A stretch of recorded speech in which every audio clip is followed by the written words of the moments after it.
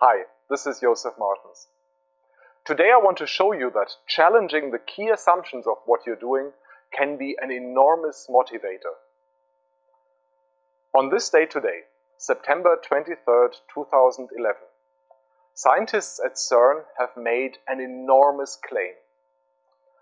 They have claimed that for the first time they observed a particle, a neutrino, traveling faster than the speed of light. That claim is so revolutionary it is news that the world of physics hasn't seen for over a hundred years.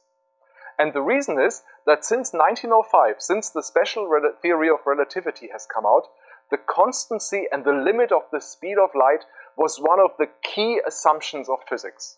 It was one of the cornerstones of not only the theory of relativity, but of all of modern physics. And today, that fundamental assumption has been challenged for the first time.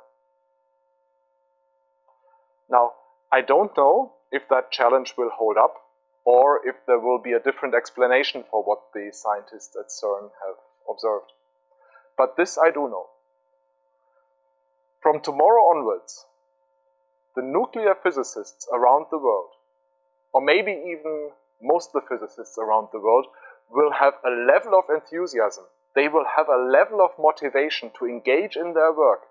Their workplace engagement will be at a level at which it has probably never been in their careers.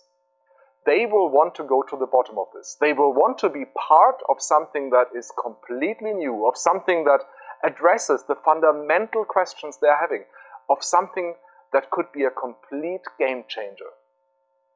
They are completely motivated. Their workplace engagement will be enormous, and they might even find something new in that process. And this is something that you can also recreate in your organizations.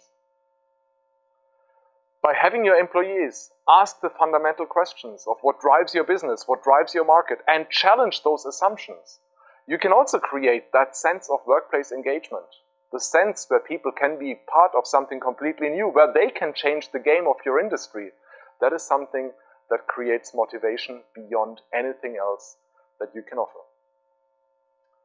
How often do you tap into that potential for motivation?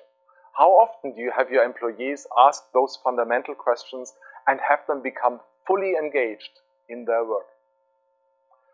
There are tools and techniques available to help you identify those questions and help you ask those fundamental questions. If you want to know more about those, check them out on my website where you can find more resources and information about this. Thanks for listening.